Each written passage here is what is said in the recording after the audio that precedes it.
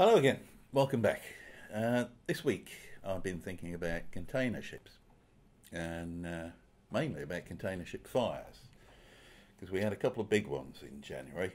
Uh, there was the Yantian Express had a fire in a container stack in the Atlantic, um, and even a couple of weeks later, as I speak now, um, it's still under tow on the way to the Bahamas.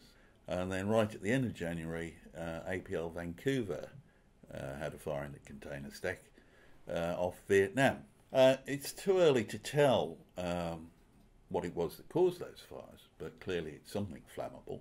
Um, they wouldn't catch fire otherwise. And that does tend to be a problem with container ship fires. Um, it's, it's hard to find out, and the people who know, the owners, the cargo owners, the cargo owners' insurers, uh, aren't telling.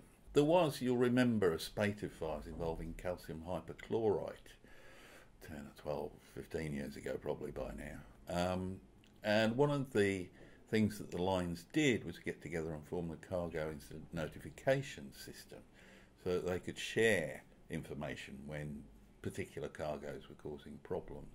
The latest uh, container ship fire to uh, cause regulatory change of course, was the MSC Flaminia, which had a major fire in 2012. Um, and it was traced to two tanks of divinyl benzene, which had been put in the wrong place in the hold.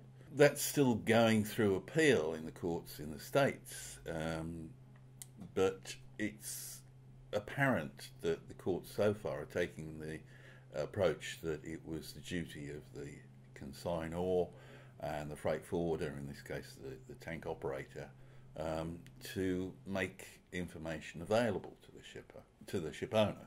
Since then, new regulations have come in. They're in the IMDG code. They're in the other modal regulations. In fact, they're not yet in 49 CFR, and I'm not entirely sure why.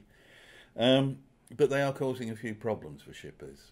Um, the CINS and the International Group of P&I Clubs and TT Club published some guidance um, and recommended, in fact, that divinyl benzene be carried either in drums in reefer containers or in refrigerated tanks.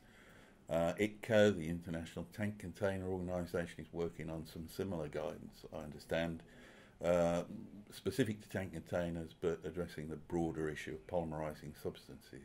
The one thing that has emerged from all this is the, the importance of the information uh, particularly about the nature and timing of any stabilizers used, inhibitors, say, uh, used uh, in the product, uh, or the temperature at which it needs to be kept.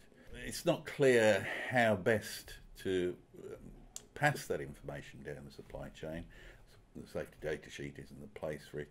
Uh, the dangerous goods declaration may be, but anything that relies on IT systems um, is is a weak point because they can't all cope with the uh, nature and extent of the information um, that that is needed.